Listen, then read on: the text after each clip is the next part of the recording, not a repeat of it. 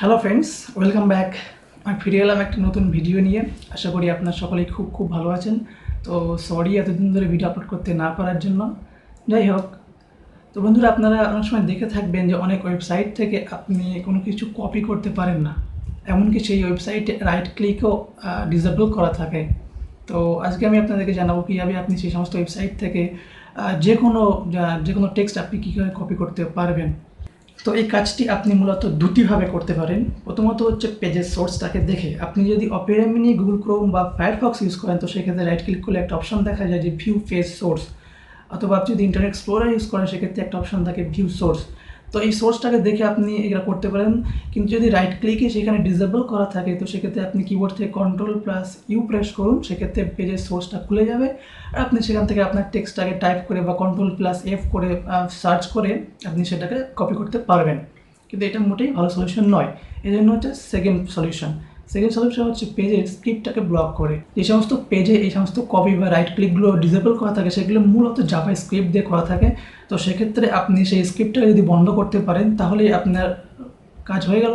তো সেক্ষেত্রে আপনার দরকার কিছু অ্যাডনস বা যেটাকে আমরা এক্সটেনশনও বলে থাকি অ্যাডনস বা এক্সটেনশন এগুলো আপনি আপনার ব্রাউজার ইনস্টল করে নিন, তারপরে আপনি সেগুলোকে ভালোভাবে ইউজ করতে পারবেন।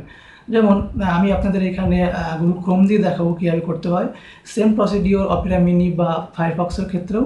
তো চলুন দেখে নিই।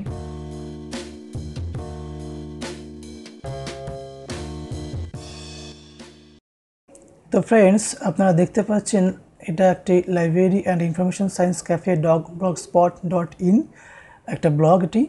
তো সর্বপ্রথমে আমি এটার যে ক্রিয়েটার আশিস কামলকে আমি পার্সোনালি থ্যাঙ্কস জানাতে চাই। এরকম একটা সুন্দর ওয়েবসাইট বানানোর জন্য। তো আপনি দেখতে পাবেন যে এখানে সাপোজ আমি এই এরিয়াটুকু আমি কপি করতে চাইছি, কিন্তু কপি হচ্ছে না।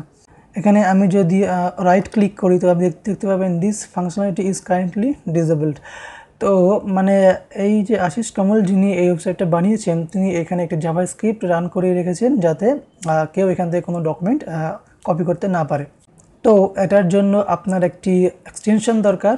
আমি যেহেতু ক্রোম ইউজ করছি, তো প্রথমে আপনি এইখানে যাবেন, এই সাইডে দেখছেন মেনু মেনুতে যাবেন, এখানে যাওয়ার পর দেখতে পাচ্ছেন মোর টুলস এখান থেকে দেখুন এই যে এক্সটেনশন ঠিক আছে?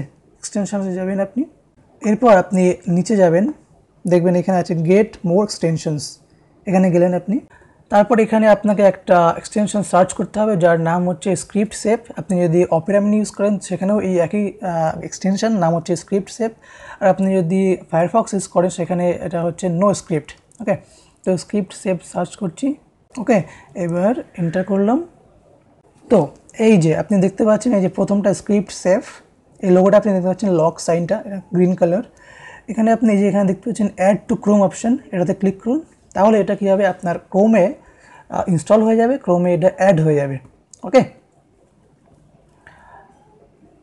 তো এটা ওয়েট করতে হবে একটু আপনাকে, ঠিক আছে? তো এটা অ্যাড হয়ে যাওয়ার পর এটা দেখাচ্ছে, দেখুন script save has been added to Chrome ঠিক আছে? ওকে তো এখানে আপনি ক্লিক করলে দেখতে পাবেন এটা দেখাবে স্ক্রিপ্ট সেভ এটা এখন রান করছে ওকে তো এবার আপনি লিস ক্যাফের যে ওয়েবসাইট সেখানে গেলেন আপনি। এটাকে একবার আপনি রিফ্রেশ করে নেবেন। এখানে একটা ইমেজ ছিল যে সেটা যদিও আসছে না বোধ হয় পুয়ার ইন্টারনেট কানেকশানের জন্য। এরপর আপনি এখানে দেখতে পাচ্ছেন যে স্ক্রিপ্ট সেপার এইখানে তিনটে তিন লেখা রয়েছে চলে এসছে। মানে এখানে কি এখানে তিনটে স্ক্রিপ্ট ব্লক করে দেওয়া হয়েছে। ওকে আপনি যদি কোনো স্ক্রিপ্ট এখান থেকে অ্যালাউ করতে চান, তো আপনি অ্যালাউ করতে পারেন। আপাতত কোনো কিছু অ্যালাউ করার দরকার নেই। এবার আপনি এটুকু আমি এটুকু সিলেক্ট করার চেষ্টা করছি। দেখুন। ঠিক দেখেছেন? সিলেক্ট হয়ে গেল। এবার এটাকে আমি রাইট ক্লিক করছি। দেখুন কপি অপশান চলে এসছে। এটা কপি হয়ে গেল। এবার আপনি যেখানে খুশি পেস্ট করতে পারেন। তো এই কাজটুকু হওয়ার পর, এবার আপনি যদি ইউটিউব বা অন্য যে কোনো ওয়েবসাইট সার্চ করে থাকেন, তো আপনি দেখবেন স্ক্রিপ্ট সেভ যেহেতু অন রয়েছে, সেহেতু অন্যান্য ওয়েবসাইটগুলো কিন্তু ঠিকঠাক কাজ করছে না। তো সেক্ষেত্রে আপনাকে যেটা, দেখুন, এটা ঠিক ঠিকঠাক আসেনি। যেমন ইন্টারফেসটা হয়, তেমন আসেনি। তো সেক্ষেত্রে অবশ্যই আপনি স্কিপ সেভটাকে না অফ করে দেবেন, ঠিক আছে?